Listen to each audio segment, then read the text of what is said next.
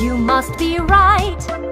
This is an amethyst, except an amethyst is big and strong. This one is not the best example. Something is clearly